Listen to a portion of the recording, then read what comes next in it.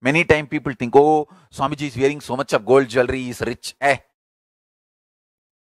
It is my responsibility I am wearing. It is my responsibility. All the devotees who have seen me personally, privately, they know.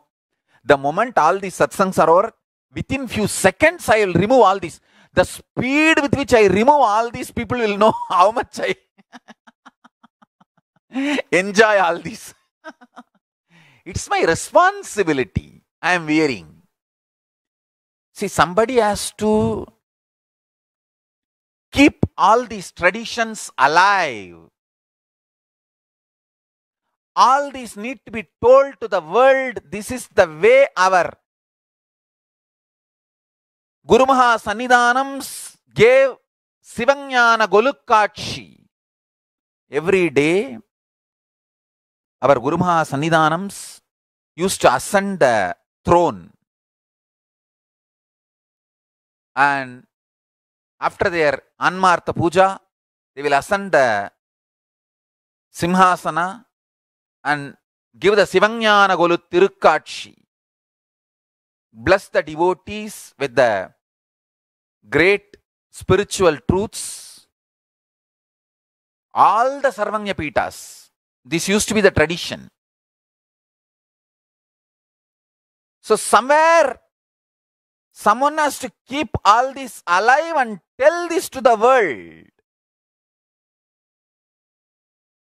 I have read many papers related to different different adinams. In one adinam, a king got healed and got blessed. He gave the whole whole kingdom to adinam. Gave a throne with a 16 steps, fully gold and diamond studded.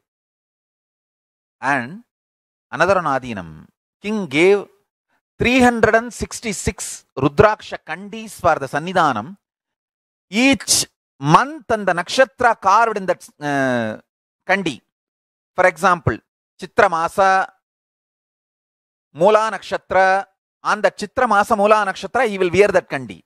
Chitra Masa, Chitra Nakshatra, one kandi will be named.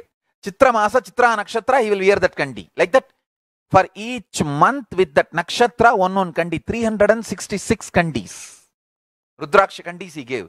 So that sanidhanam will wear any kandi only once a year.